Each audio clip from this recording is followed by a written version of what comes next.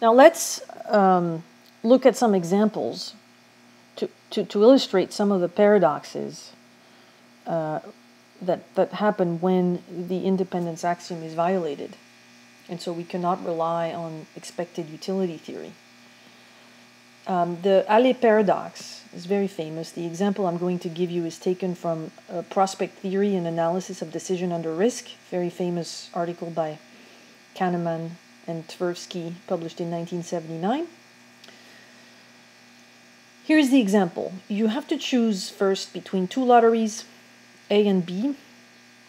Lottery A gives you $4,000 with an 80% probability or nothing with a 20% probability.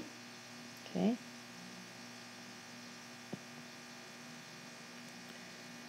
Pro, uh, lottery B gives you $3,000 with 100% certainty. Okay. Now, if I compute the expected utility of A, okay, applying expected utility theory, I get 3200. 4,000 times 80% plus 0 times 20%.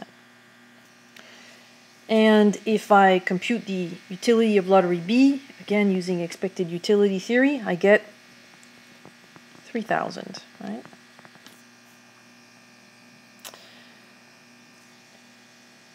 Now here, if I was choosing according to expected utility theory, I should choose lottery A because it has a higher expected utility, but as it turns out, most people choose lottery B,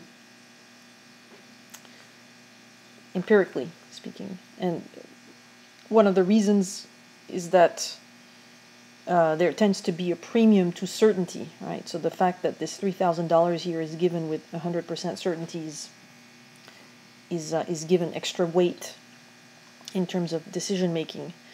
Now, second example, choosing now between lotteries A prime and B prime.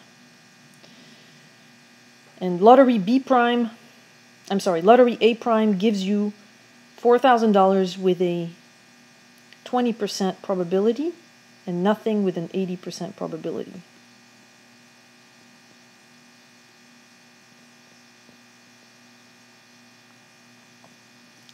Lottery B prime gives you $3,000 with a 20, 25% certainty and zero with a 75% certainty. Okay.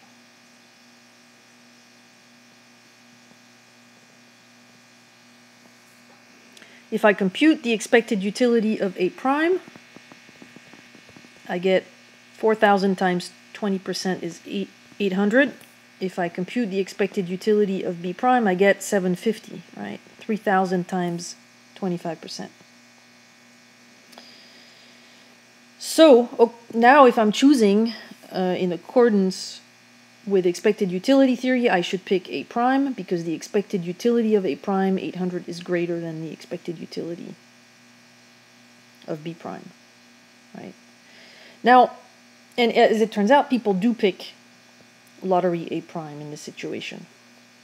Now, what's interesting here is that sometimes people behave in accordance with util expected utility theory, as in the second example here, but sometimes people violate it, as in the first example.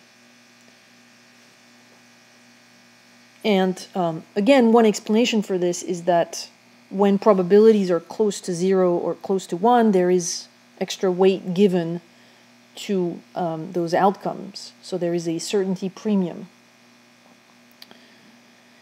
Uh, why is this a violation of the independence axiom, by the way? Well, we can think of it this way that if we consider the first lotteries, we have lottery B, which is preferred to lottery A.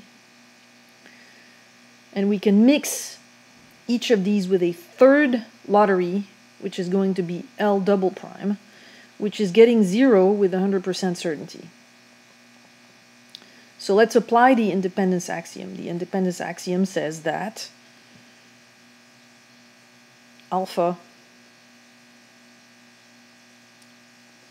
a combination of lottery B and lottery L double prime should be preferred to combination of lottery A and L double prime. And since L double prime is simply equal to zero I'm going to drop it right? So I should have this result. Now you will notice that if I pick alpha equal to one fourth alpha times lottery B is actually equal to uh, B prime, lottery B prime, right? Because it's the same the same outcome with a probability 25%, which is one fourth of 1. And similarly, alpha times lottery A is actually equal to lottery A prime because it's the same outcome, but now the probability 20% is one fourth of 80%. But so, but I've just told you, so we should have lottery B prime preferred to lottery A prime, right? If the independence axiom were to hold, but I've just told you that in practice, actually, here in this example, people chose A prime over B prime, right? So this is a violation of the independence axiom. Now let's consider a second um, paradox violation of the independence axiom, which is called Mach- Machina's paradox. This example is taken straight from uh, the book Mas-Colell, Whinston, and Green on uh, page 180. You are considering f- three outcomes either a trip to Venice, or watching a movie about Venice, or staying home and doing none of those things. Let's call these things T, M, and H. And let's assume that your preference ranking between these three outcomes would be that the trip is preferred to the movie, which is preferred to staying home. Now let's uh, let's consider two lotteries. You're choosing between two lotteries. Um,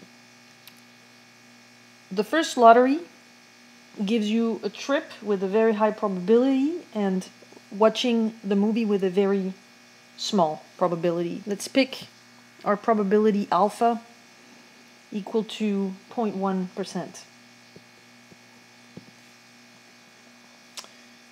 So lottery A gives you this trip with the very high probability plus small probability of a movie. Lottery B gives you uh, the trip again with a high probability plus small probability of staying home. Okay. Now,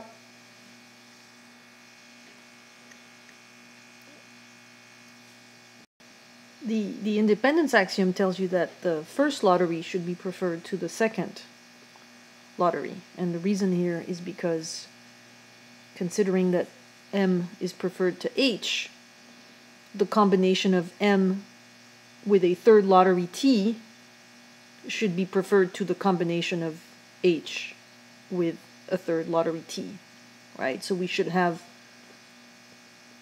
this lottery preferred to this one. However, um, it would not necessarily be irrational to prefer the second lottery, lottery B. And the reason for this is that if you were to not get the trip to Venice, um, you would presumably feel very disappointed and you would feel perhaps miserable about the idea of watching the movie. And so perhaps you would prefer uh, staying home altogether and trying to forget about your lost opportunity to travel to, to Venice in spite of the fact that uh, this violates the independence axiom. So, here, central to this example is the idea of a disappointment that leads your preferences in the sense to to to reverse or at least be in conflict with the independence axiom. Um, the idea being here is that you would feel a sense of um, disappointment